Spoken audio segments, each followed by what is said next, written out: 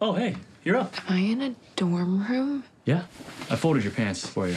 Great. Dude, did you get that or what?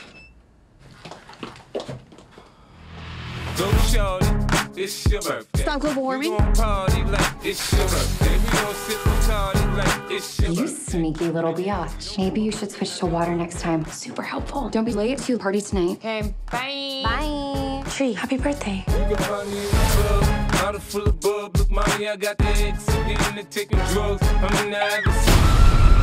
You scared me.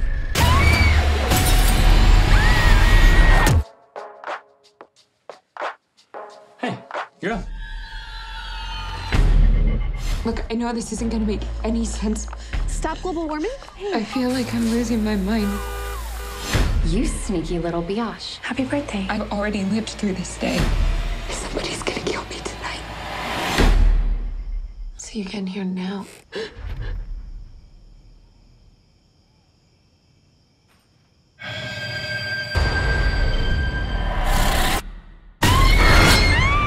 But is everything okay?